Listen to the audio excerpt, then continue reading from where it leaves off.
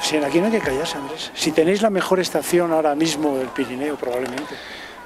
Hombre, como yo, hoy, yo- que yo días no como digo, yo nunca digo que sea la mejor, porque hay estaciones muy bonitas. Lo que sí que es verdad es que es una de las mejores. Y la verdad es que además ahora con todo esto de la conexión de estaciones que se está hablando y todo eso, Astún está en medio mm, del dominio esquiable o del futuro dominio esquiable más grande, con lo cual mm, con nosotros tienen que contar.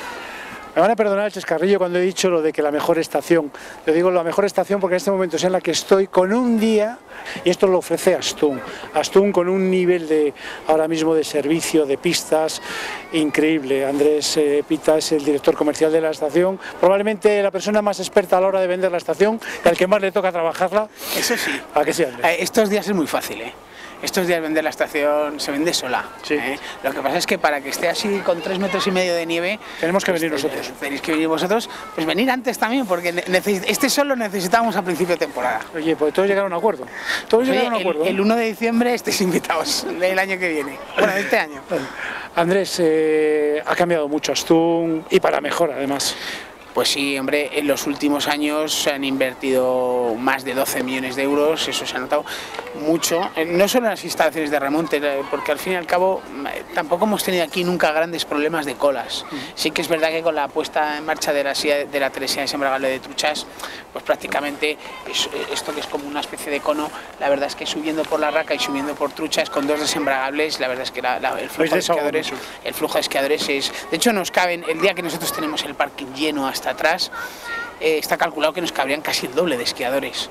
Eh, desgra- desgraciadamente para nosotros eh, no tenemos más parking, pues bueno, pero afortunadamente para los que vienen, aunque sea un día pues como hoy o, o- o el puente o la Semana Santa, pues eh, no, no se encuentran colas significativas.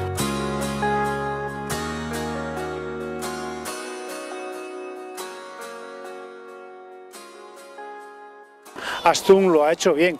Sabía dónde tenía sus carencias, ha sabido dónde tiene sus, sus límites y yo me imagino que, que eso es un éxito. ¿no? A ver, eso es un éxito porque además eh, eh, muchas veces los, los que estamos en las estaciones de esquí solo vemos nuestro mundo y, y vemos la misma cosa 27 veces y al final la dejas de ver. Te, te- te- te viene gente de fuera y te dice, oye, pues... eh, ¿Y esto por qué no? Y esto, es- hay que estar abierto, hay que saber dónde se invierte.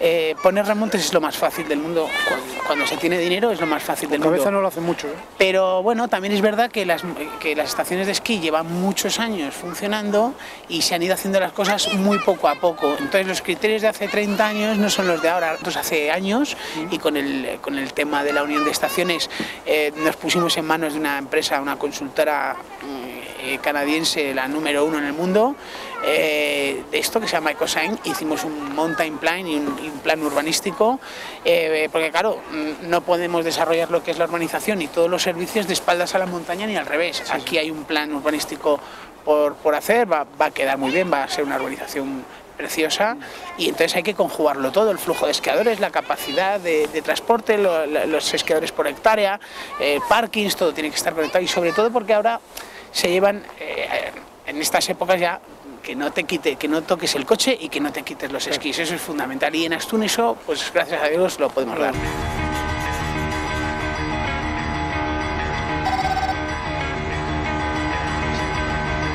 Es muy importante la presquí, tú lo has dicho, o sea, dar ese servicio a- al esquiador. Astún tiene el privilegio de ser una de las estaciones eh, prácticamente de, de los Alpes, de esas que, que te quitas los esquís y te vas directo a la de pista, sí. Exactamente, ¿no? Y los servicios que estáis haciendo y creando en, en pistas.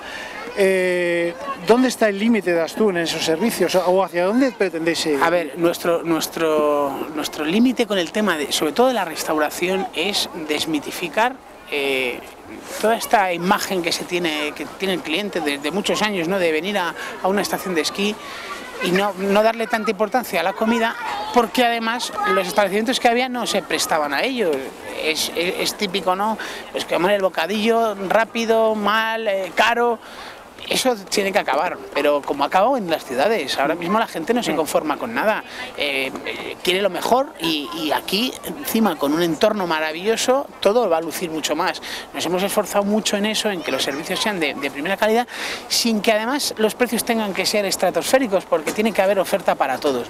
El, el Riable Lunch lo hemos montado con dos ambientes para que hubiera pues, público para un sitio y público para otro, en el mismo entorno, pero con distintos productos porque, porque hay veces que te apetece un bocadillo y hay veces que te apetece un teriyaki con una copa de champán. Pues, eh, hay que poder ofrecerlo a la gente.